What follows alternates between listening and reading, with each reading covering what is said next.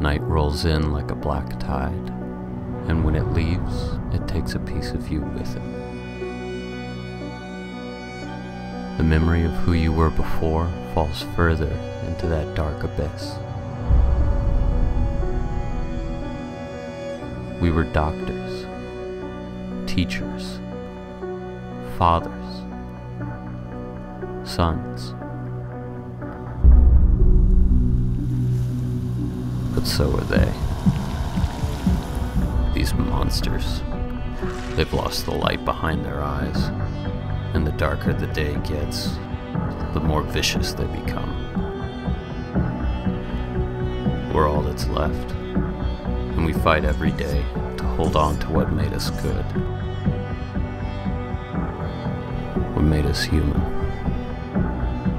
And so every day is a battle. And every night, we lose more of ourselves to the darkness.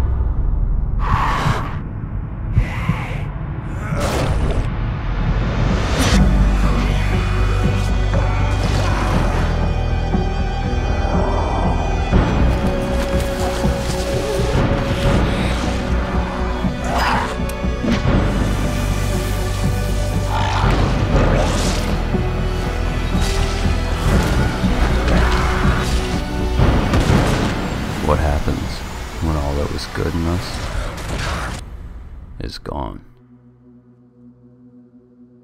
What would that monster look like?